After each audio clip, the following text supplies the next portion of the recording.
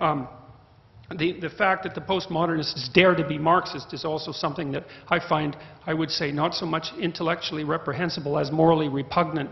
And one of the things that one of the things that the postmodernists, postmodern neo-Marxists continually claim is that they have nothing but compassion for the downtrodden. And I would say that anybody with more than a cursory knowledge of 20th century history who dares to claim simultaneously that they have compassion for the downtrodden and that they're Marxists are revealing either their an ignorance of history that's so astounding that it's actually a form of miracle or a kind of or a kind of malevolence that's so reprehensible that it's almost unspeakable.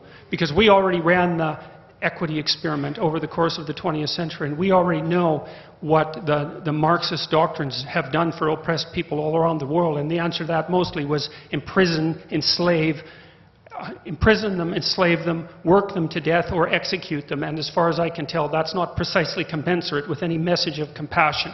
And so I don't think that the postmodern neo-Marxists have a leg to stand on ethically or intellectually or emotionally. Or, and I think that they should be gone after as hard as possible from an intellectual perspective, an informed intellectual perspective. And this is fundamentally a war of ideas.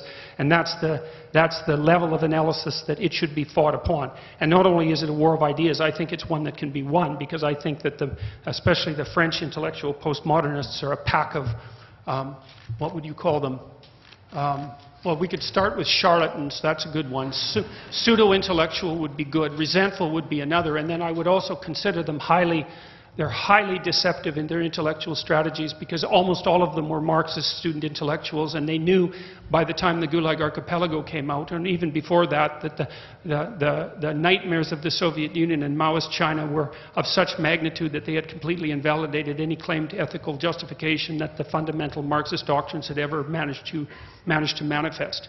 And so it's a, it's a no-go zone as far as I'm concerned. Intellectually, the game's over. We've already figured out that there are finite constraints on interpretation, and we also understand why those exist and how they evolved. And from, from the perspective of, of political ar argumentation, there's absolutely no excuse whatsoever in the 21st century to put forth Marxist doctrines as if they're the, the balm that's needed by the compassionate and by the balm that's administered by the compassionate to the downtrodden. Sorry, tried that, didn't work. We got 100 million corpses to prove it, and that's plenty for me. And if it's not enough for you, well, then you should do some serious thinking either about your historical knowledge or about your moral character. So that's the first thing.